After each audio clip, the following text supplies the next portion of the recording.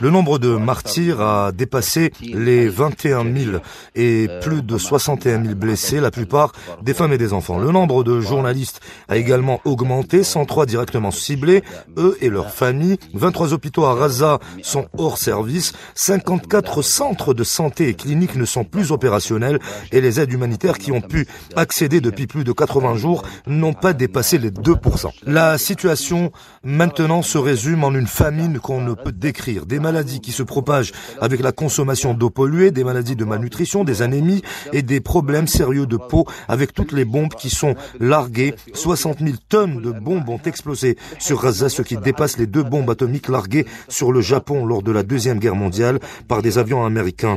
Elles dépassent dix fois ce volume sur Gaza.